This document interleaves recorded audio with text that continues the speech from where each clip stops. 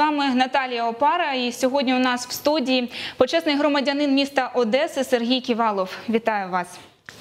Здравствуйте. Сергій Васильович, е, чим ближче до вечора в Одесі, тим е, стійкіше е, враження, що виборчий процес виходить з під контролю. Вже зафіксовано декілька фактів е, замінування дільниць. І саме в ці хвилини спостерігачі повідомляють нам про те, що прибувають автобуси з київськими номерами. Прокоментуйте ту ситуацію, яка відбувається сьогодні в Одесі з виборами.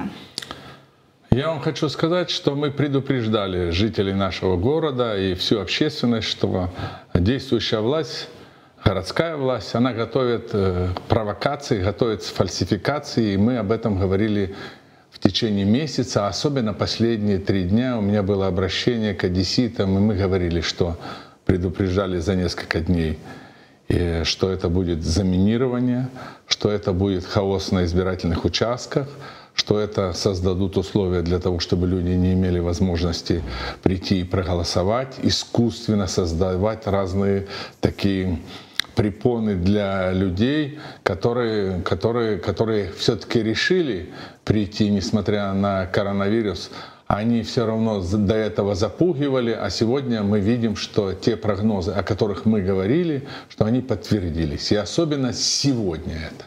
Во второй половине дня, когда они увидели, что люди пошли на выборы, и, и сейчас э, городская власть делает все для того, чтобы э, заблокировать, чтобы люди не пришли на выборы, чтобы им было удобнее бросить бюллетени, чтобы им было удобнее сделать карусели. Мы об этом же говорили. И просили и правоохранительные органы, обращались и говорили. Но для того, чтобы переключиться на э, другую волну, то есть давайте э, значит, возьмем э, под контроль участковой комиссии Приморского района э, по результатам опроса, как мы знаем, со штаба городского они нам говорили, что э, у нас есть инф- э, информация, что э, симпатики в результате опроса все-таки больше находятся именно здесь, центральная часть нашего города, Приморский район, да и другие районы. Но они знают, как будут голосовать, потому что они несколько раз обзванивали каждого избирателя, то приглашали, то обзванивали, то спрашивали, что необходимо. И вот мы имеем результат. Не только мы предупреждали, но комитет избирателей Украины, комитет избирателей э, Одесской области в прямом эфире, а потом несколько раз повторили, что эм, э, из бюджета города были затрачены большие денежные средства, а если конкретно, то 13 миллионов на подкуп избирателей.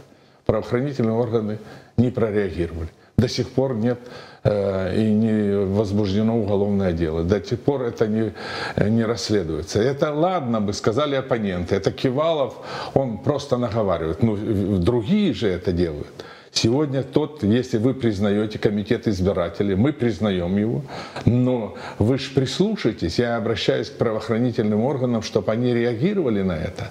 Больше того, мы предупреждали и говорили, что будут э, разные варианты для того, чтобы не допустить, чтобы люди не пришли на голосование. Вот вам результат через каждые полчаса минируют тот или иной участок. Я имею в виду и именно почему-то в центре города, и именно в Приморском районе, ну и, и в Малиновском есть.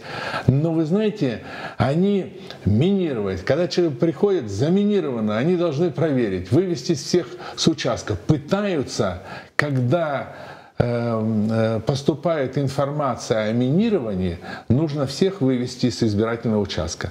Нужно собрать все бюллетени, закрыть их в сейф. И потом, после этого опять, когда они приходят через некоторое время, опять раскладывать. В это время можно все что угодно сделать. Поэтому эта провокация, которая спланирована за несколько дней Вже до три выборов. такі провокації було в Одесі. И вы знаете, и почему-то все это связано с теми участками, ну, где у нас, э, где у нас э, э, люди, которые поддерживают.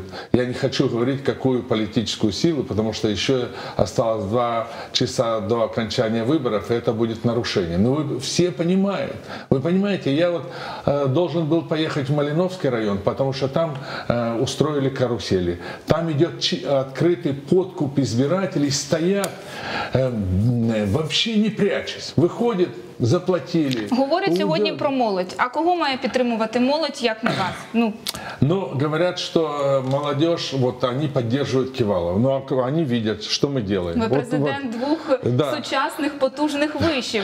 Но они видят, что у нас стро- построена э, система, хорошая система э, обучения, что у нас есть эм, э, хорошая материальная база, что у нас комфортно, уютно, у нас сильный профессорско-преподавательский состав. И они поддерживают, молодежь видит э, сегодня то, что делается сегодня вот в Приморском районе, допустим.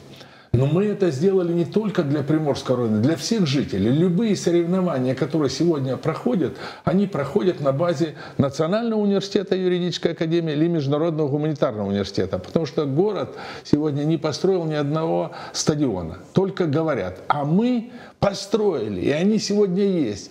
Сегодня чемпионат Европы проводится только на наших площадках. Вот мы недавно проводили чемпионат э, Украины по бадминтону. Ну, нету зала лучшего. Я не об этом. И студенты видят. Вы понимаете еще самое важное, что у нас студенты со всей Украины. Из Тернополя, и Ивано-Франковск, и Волынь, и Киев – и, э, и они же, молодые люди, они понимают и видят то, что делается в наших университетах, и то, что они видят в городе. Поэтому рассказывать, что я чуть не колдую каждого студента, ну пусть они так Сегодня, колдуют до каждого, пусть они колдуют каждого оде- одессита, чтобы за них голосовали так и к ним относились так, э, как э, относятся к нам. Я это со всей ответственностью могу сказать. Но если мы вышли на выборы, то нельзя беспредельничать. Я, А знаете, головне вплутувати дітей у брудні виборчі технології. Я вам хочу сказать, что я помню выборы и в 90-м году, когда я баллотировался депутатом райсовета. Я помню выборы 94 -го года, когда баллотировался депутаты горсовета. И выборы в народные депутаты. Никогда такого беспредела не было. Даже в 2014 году, где была эм, разруха, где в 2015 году, где полностью система управления была парализована, даже тогда никто не позволял себе то, что они позволяют себе. Видимо, есть договоренность с властью, что они будут делать, и это пройдет безнаказанно. Они пытаются сегодня, увидели, стоит машина, сидят две девочки, пытаются, а вот давай захватим. И все средства массовой информации вокруг. э, У той что- час, да. коли до виборчих дільниць автобусами підвозять виборців. Мы сегодня автобусами показываем, просто. зафиксировали автобусы с киевскими номерами, подвозят. І чомусь ми не Остановить. бачимо цього у СМІ. Я, ви знаєте, Сьогодні е, усе інформаційне поле зос- зосереджено саме на, на прізвище Ківалов. Нібито більше суб'єктів виборчого процесу в Одесі ну просто не існує. Наталья, С чем вы это знаете, повязывает? Это, это повязано с одним, что они боятся нас. Они боятся. Мне кажется, что больше всего боятся Кивалова. Я не пойму, почему. Нет, я могу догадываться, я не хочу, просто мы находимся еще за два часа до окончания э, голосования в нашем городе. Я не хочу сегодня какие-то детали раскрывать и говорить, почему это проходит. Э, Но посмотрите, но есть другие кандидаты, но кроме Кивалова они никого не видят. А это все связано с тем, что я, меня поддерживают одесситы. Я знаю, что они меня поддерживают. Я общаюсь с одесситами, я встречаюсь, я вижу. И, и для того, чтобы выбить меня любым способом, придумывали какие только эм, технологии не предсказывал, что Кивала будет завозить с Ивано-Франковска студентов, будет привозить там эм, с Кривого Рога студентов. Ну, послушайте. Но ничего этого нет. Мне не нужно э, заниматься именно этим. Я просто знаю мое отношение и мое отношение к одесситам, и одесситов ко мне. И для них самая большая трагедия, если во второй тур выйдет, не хочу говорить кто, Для них это, они сегодня идут на все, а потом они будут говорить, ну, будут потом откупаться от правоохранительных органов, потому что то, что сегодня они натворили, это, это сотни уголовных дел, если не больше, на каждом избирательном участке. То э, задержали э, членов избирательной комиссии, э, участковых избирательных комиссий, других задержали, карусели задержали, заходят, прячут бюллетень. Мы же знаем, почему не нашли у той э, девицы, которая заходила на участок, и у нее начали спрашивать наши активисты, наши доверенные лица, спросили, где еще один бюллетень. То есть это чистая карусель. Они заходят, бросают подготовленный бюллетень, а чистый забирают с собой.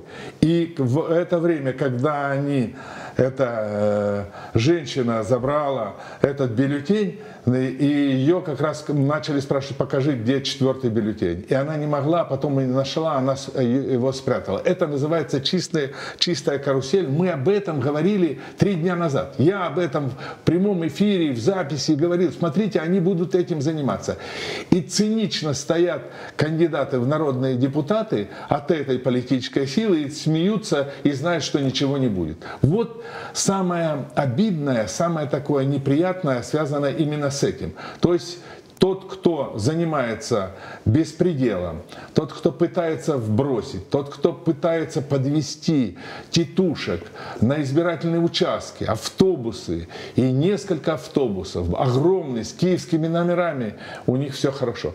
У них э, в каждом доме, мы знаем эти дома, мы даем заявление в полицию, что в одной квартире подписывается и прописывается, извините меня, 30-40 человек, и потом они идут и идут и голосуют. Ну это что, Як не фальсификация? правоохоронні органи? Вы знаете, мы пишем, мы регистрируем, мы знаем, как зарегистрировать уголовное дело. Не так, что пришел, отдал, и они не зарегистрированы. Мы берем э, уведомление, что нас зарегистрировано, и будем после выборов будем контролировать это. Я уверен, что все, кто причастен к фальсификации выборов, все, подчеркиваю, без исключения должны понести уголовную ответственность. И, и санкция, я уже говорил, очень жесткие в отношении фальсификации выборов, до 7 лет лишения свободы. И вы знаете, пройдет определенное время, они скажут, ну забыли, ну извините, ну так получилось, ну там нет полного состава. Чистый состав преступления, то, что они сегодня делают. И для них власть – это безнаказанность. Если они проходят и становятся там, э, достигают той цели, то они потом они скажут, ну давайте договоримся, давайте не будем расследовать то или иное. Нет, я это не, не оставлю. Все свои силы, всю свою энергию, все, что связано с выборами, я доведу каждое дело до э, обвинительного заключения. Э, этого не должно никогда повториться. Сегодня наша команда целыми днями отбиваемся, приходим, говорим, не позволяем, ну чуть ли, ну, ну за каждым э, тот, кто заходит, смотрим, чтобы он не беспредел, чтобы он не устроил карусели. И все равно они просачиваются. И все настолько изощренная избирательная кампания и те люди, которые изощренно занимаются этим, то мы сегодня видим. Видим этих активистов со штаба. Они только здесь, по участкам. Они приходят, они блокируют. Они блокируют работу э, избирательных участков. Вот те, которые связаны, допустим, с общежитием, где живут наши студенты. У нас там один-два члена комиссии, все их. Вы понимаете, что мы не имеем э, возможности, они имеют возможности полностью заполнить все избирательные участки, э, участковые избирательные комиссии. У них полный контроль, у них все деньги, вся власть, все у них. И они не могут поломать одесситов. Поэтому я, знаете, вот хотел обратиться к одесситам. У нас осталось чуть больше два часа до окончания выборов. Но я вас просто прошу, я умоляю, кто не успел по каким-то причинам прийти и проголосовать, пойдите туда. Если вы не проголосуете, они сегодня готовят э, за вас проголосовать. Они сегодня готовят систему вброса в самые последние минуты до окончания голосования. Я не удивлюсь, если жители сегодня города, те, которые не успели прийти и проголосовать, придут и попросят бюллетень, а окажется, что они уже проголосовали. Вот где состав преступления. Я обращаюсь, если меня слышат члены участковых комиссий, не делайте это, потому что вы будете нести персональную ответственность, уголовную ответственность. Те, кто рядом с участковой комиссией, те, кто занимается этим, вы вас никто не спасет. От вас отвернутся ваши начальники на следующий день после выборов. А мы это, я третий раз уже говорю, мы доведем до логического конца, то есть до э, обвинительного заключения. Никто вас, вам не поможет, никакой адвокат, если вы совершите это тяжкое преступление. Это я э, со всей ответственностью и уверенностью могу сказать вам. Сьогодні різні анонімні телеграм-канали публікують майже. Не майже, а просто однакову інформацію. Це те, що ми сьогодні з колегами-журналістами упродовж декількох останніх днів спостережуємо. Спостерігаємо, формується таке інформаційне поле. Задіюють там студентів Ківалова, гуртожитки щось пишуть і пишуть, що ви нам надсилайте якісь повідомлення, а ми гарантуємо вашу анонімність. Виходить, що я, ви будь-який одесит може надіслати анонімно туди повідомлення, так? І Наталья, виходить, що у цьому вірити? Что вот они направляют анонимные, и, э, анонимное, или лицо закрывают, если это видео. Если так пишут, анонимный такой Вася Пупкин или кто-то там еще, телеграм-канал, это анонимно. И, или он дает интервью, вот как делали вроде бы это наши студенты. Но под, э, меня удивляют продажные некоторые э, продажные средства массовой информации. Они вокруг этого как коршины и говорят, вот сказали, что э, в юридической академии больны коронавирусом. Мы говорим, послушай, а анонимные каналы, как проверить? Милиция реагирует, приходят и э, хотят опросить. Приходят в юридическую академию, берут, я уже говорил, берут, приглашают начальника учебной части. Сказали, что она больна. Да она, слава богу, тысячу раз, ее даже могу фамилию назвать, Кузнецова, начальник учебной части. Для нее это был шок – что она имеет, э, она работает, она находится на своем рабочем месте, идет учебный процесс. И вдруг говорят, и милиция приходит и говорит, вы больны или не больны. Она вынуждена была на следующий день сдать экспресс-тест, а потом э, тест ПЦР и доказывать, что она не больна. На самом деле она и не болела. Ну вот как она должна реагировать? И так сплошь и рядом. Но эта новость прошла, эта новость прошла, уже информация пошла. А, все больны э, в юридической академии. Одні ті самі новини з И одним самое, самим и текстом. самое важное, что, к сожалению, к великому сожалению, некоторые средства массовой информации ведутся на это. Я понимаю, что они отрабатывают деньги, но но не таким способом. Это, э, вы понимаете, что э, доверие, ну что к интернет-каналам, э, что можно предъявить? Ну, не нашли, кто-то,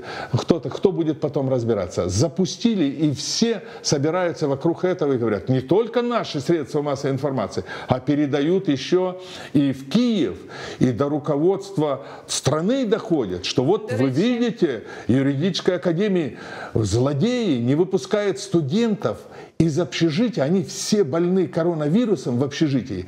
И Кивалов их закрыл на ключ и никого не выпускает, пока они не проголосуют. Ну, маразм но вы знаете, они раз сказали, два сказали, десять сказали, и люди им начинают верить. Мне с Киева звонят, я говорю, ну как вы думаете, можно ли это, э, ну вот реально это? Ну вот говорят, я говорю, так пошли. У нас, прежде чем заселить каждого студента в общежитие, мы, они проходят анализ. Мы без э, теста не, за- не поселяем никого. Больше того, мы получаем санпаспорт. Они даже этого не знают. Больше того, городские власти в сентябре месяце приходили. Это естественно, что проверяли общежитие на наличие там санитарных разных эм, таких, есть ли санитарные, санитарная обработка, если условия. Все положительно написали акты проверки. А перед выборами они запустили, что вот так и так. Я уже звоню руководству э, ну, центральных органов власти, не хочу говорить кому, и говорю, вы послушайте, да у нас студенты со всей страны едут, и здесь они живут в общежитии. Они 90%, более 90%, это со всей Украины приезжают, получают, хотят получить хорошее образование. Мы, в отличие от некоторых вузов, мы не упрощаем учебный процесс. У нас и сегодня система образования работает хорошо. Почему? Потому что мы отличаемся от других высших учебных заведений, потому что нельзя упрощать учебный процесс. И для них это непонятно, если все разъехались, а о, здесь они живут в общежитии. Они не уедут. Міносвіти Наталья, рекомендував. Наталья, они рекомендував. сейчас после, после э, выборов они не уедут. Им некуда ехать. Вот 9 областей находятся сегодня в красной зоне. И они, здесь их дом, здесь их спасение. И если студента может выселить только суд, они даже эти элементарные вещи не знают. Вот мы поселили студента, ректор, допустим, или декан, или мэр города, говорит, выселить этого студента. А мы говорим, да, а на каком основании? Иди в суд, подай иск, суд рассмотрит. Если суд э, ваши доводы э, зачтет, то он может выселить. Так у нас почти 4 тысячи студентов проживают.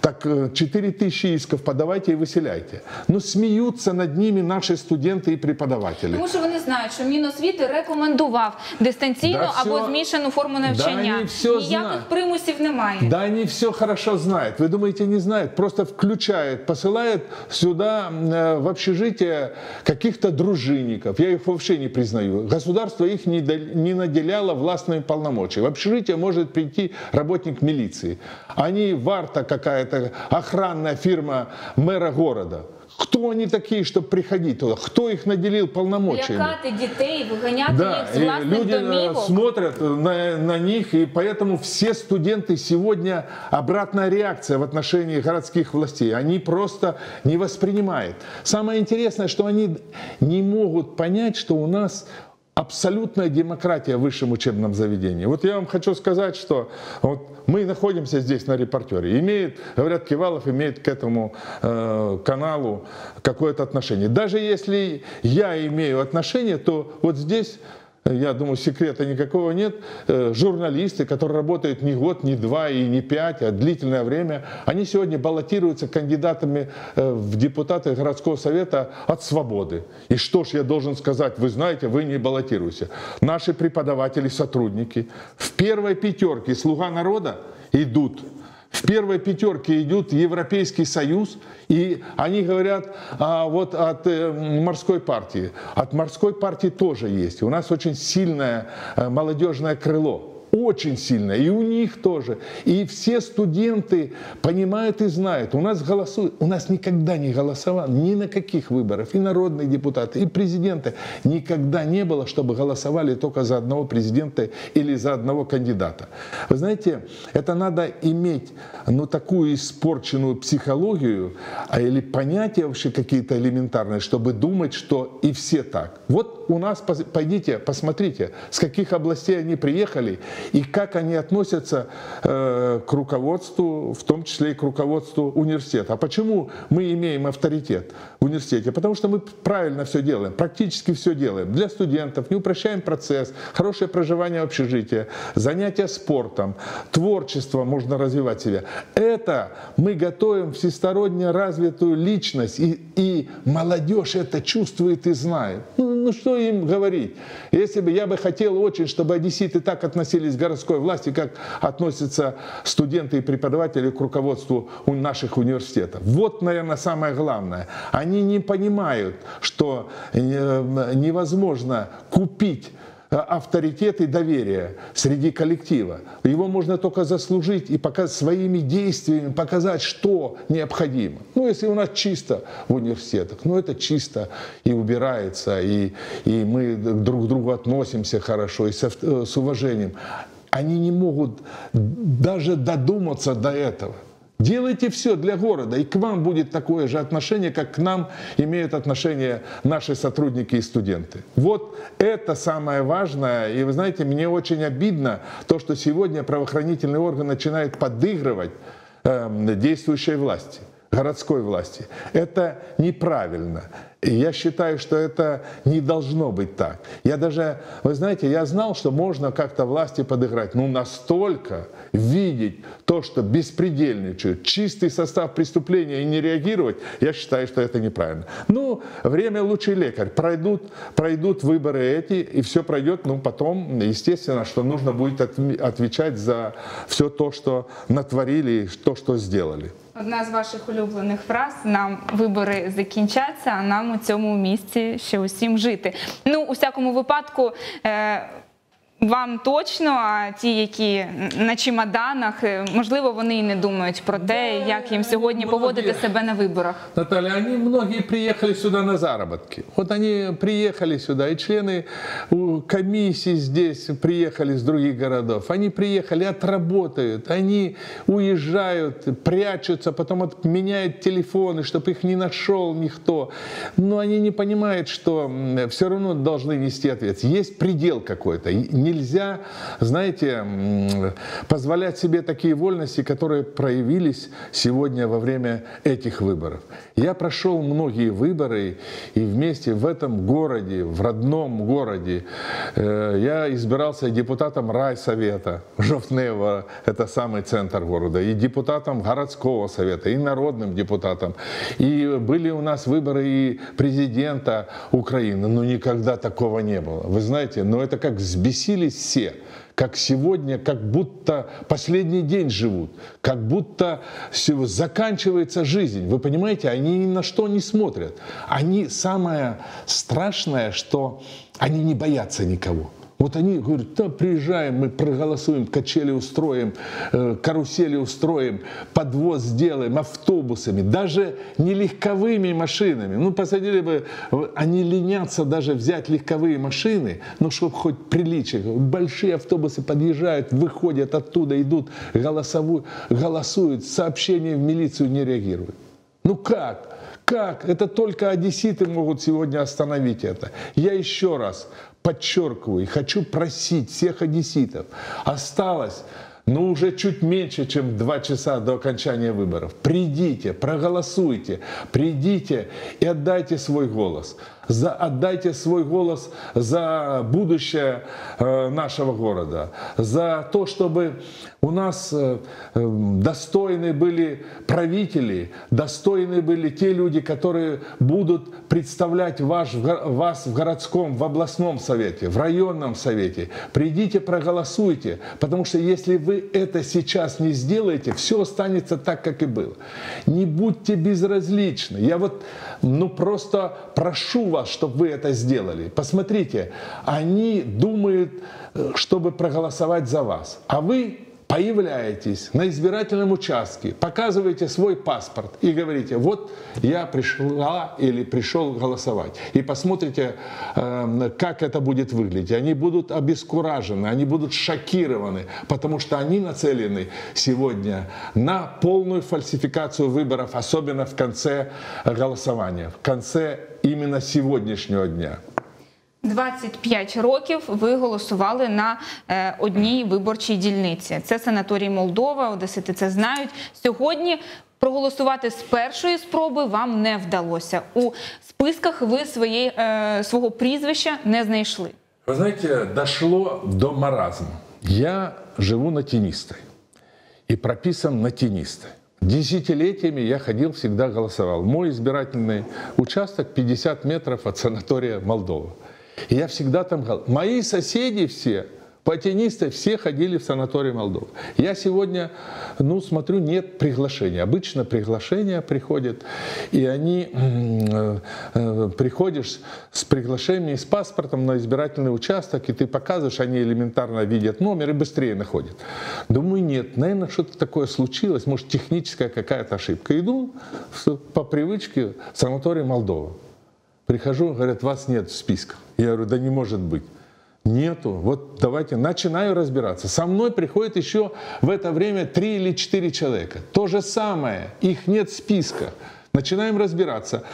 Адрес мой, тенистая, перенесли на Генуэзко. Я говорю, с чего вдруг?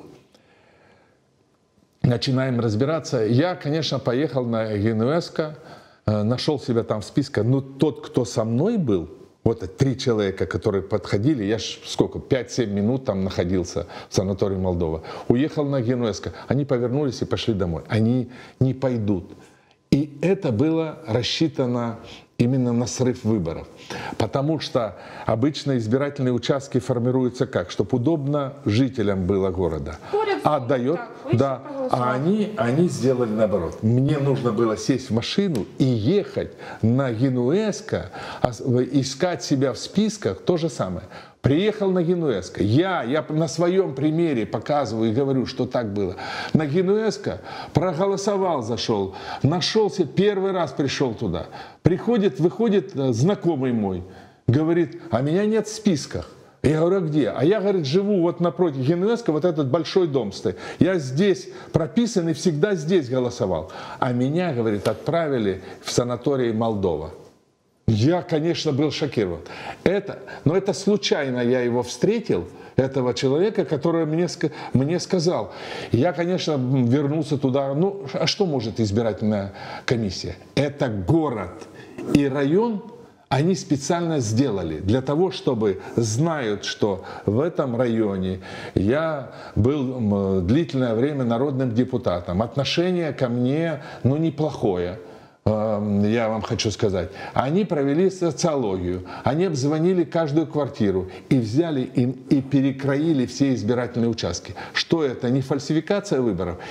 Они готовились заранее, за два месяца до этого, пересортировали все, сделали. Вот я бы хотел спросить у нашего мэра, у главы райадминистрации нашей Приморской, как так получилось, что они, они переписывали адреса, за- запутали людей, чтобы люди вообще не нашли. Но я-то свой участок нашел, потому что я зашел э, в интернет через эм, телефон и посмотрел, где участки, нашел свой адрес и нашел. А люди не имеют э, возможности зайти э, и пользоваться интернетом. Э, Как правило, это пожилые люди. Вот на это они рассчитывают полностью, сор- чтобы сорвать выборов. Их устраивало, чтобы никто не пришел на выборы, чтобы они и дальше правили и грабили сегодняшний, сегодня наш город. И это все целенаправленно, э, акция такая, ну, нужно отвечать за это. Чего- как это коснулось меня? Это я увидел, я уверяю вас, тысячи, если не десятки тысяч таких случаев по городу. Ну, хоть бы мозгов у них хватило, ну, хоть как-то бы, ну, наверное, по-другому. Но это явно, это знаете, почему делается? Мы с вами уже говорили. Это делается, потому что они знают, что им ничего не будет за это. Но им будет.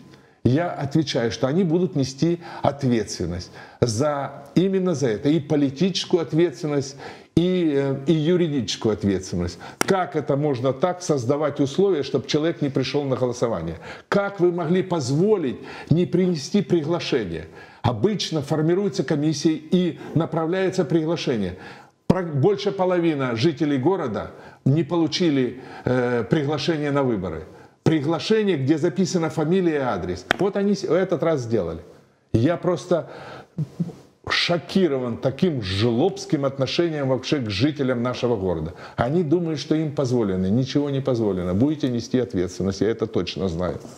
Хто винен у тому, що сьогодні десятки тисяч одеситів не змогли проголосувати? Хто е, винен у тому, що змінилися ці адреси для місць голосування? Знаете, Наталья, ни я, ни вы не, э, не, можете, э, не можем нести ответственность. Организация выборов лежит на местных властях, лежит на мэре города, на, на депутатах, на эти все комиссии подачи подается, проходится через исполнительный комитет, утверждается э, в районных администрациях. Они специально это сфальсифицировали. Мы с вами знаем, кто это. И пусть жители нашего города знают. Это сейчас тысячи жалоб. Мы соберем все жалобы. Мы так просто не оставим. После закончится избирательный процесс. Все, кто виновен, будут привлечены к ответственности. Я уже десятый раз говорю, чтобы это не расценили, что я просто говорю и не довожу до конца. Доведу все до конца. Все то, что они натворили в этом городе, будут нести ответственность.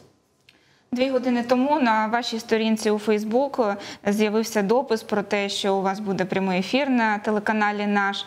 Проте ми вас не побачили у прямому ефірі цього телеканалу. З яких причин це були технічні якісь проблеми, чи можливо Не щось знаю, інше? Вони мені дзвонили два дні подряд і просили, щоб я вот подключился через, и через интернет, через Facebook, чтобы я с ними связался, прокомментировал, определили время мое. Вот как раз я здесь сижу, они мне определили время, и пожалуйста, их звонили, и все. И потом, когда мы вышли в эфир, когда я начал заявлять, что есть такие нарушения, такие нарушения, нарушения, вы знаете, они говорят, мы не можем вам сказать, по каким причинам мы вас не можем включить в эфир.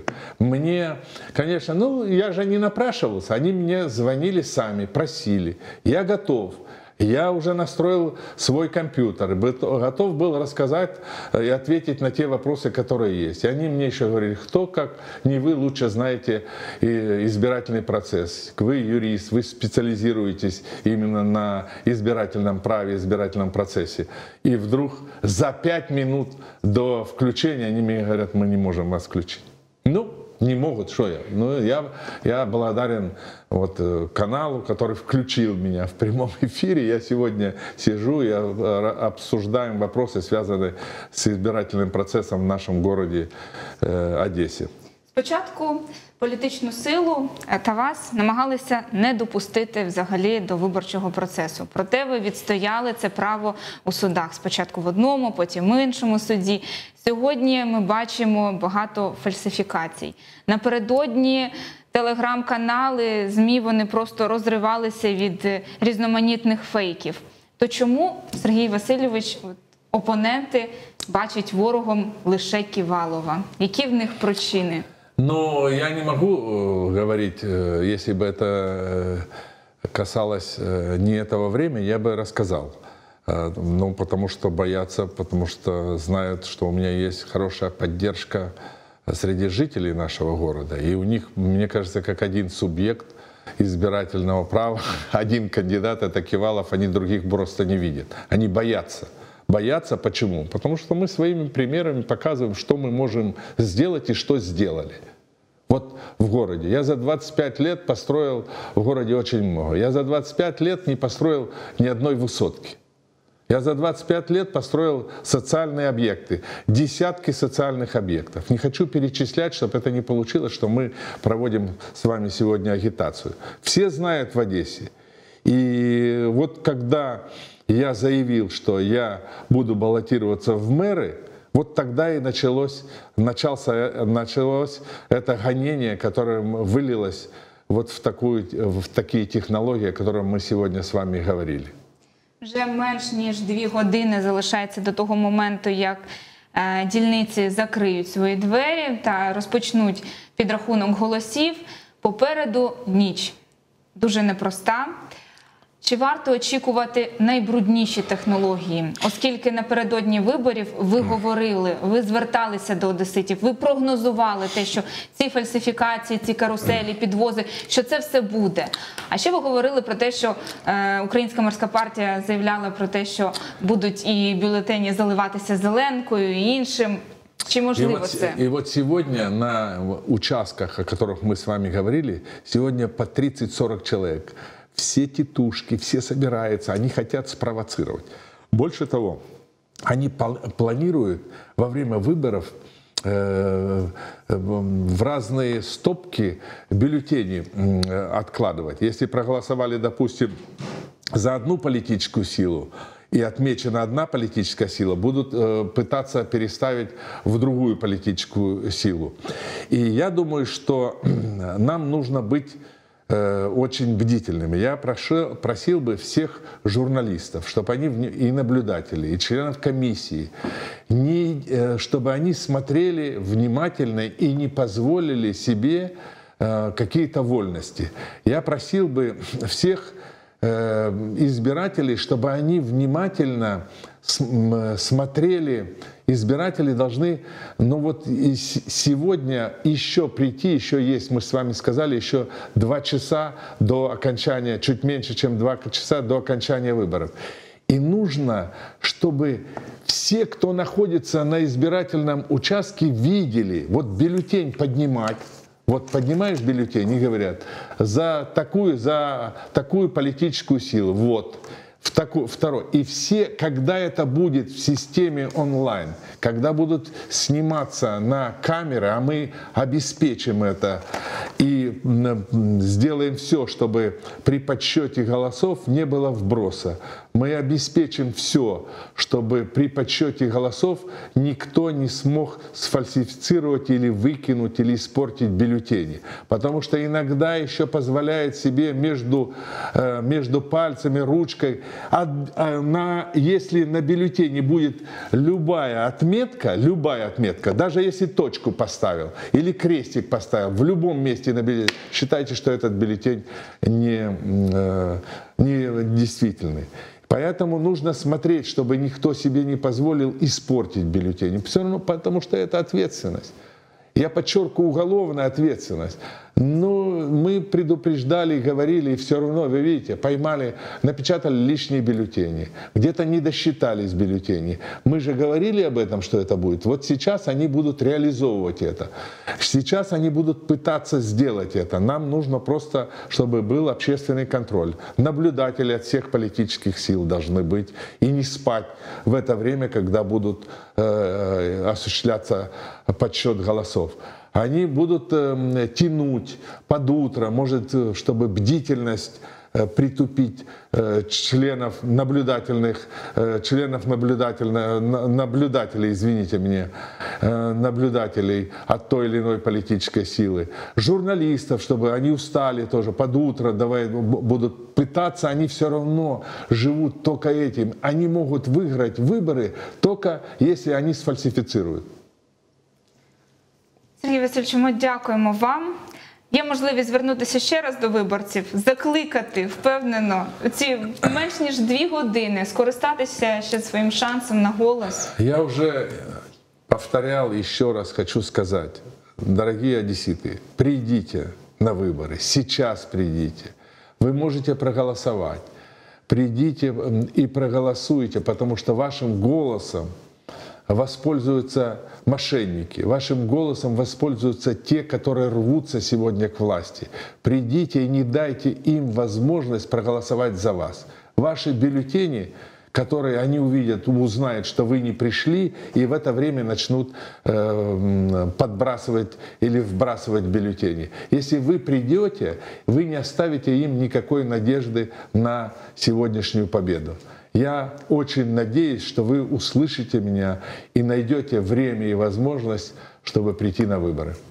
Наші колеги з телеканалу Репортер вже виконали свій громадянський обов'язок. І Сергій Ківалов, почесний громадянин міста Одеси, закликає усіх жителів нашого міста також не втрачати цю можливість. Дякуємо вам за те, що знайшли час, роз'яснили нам.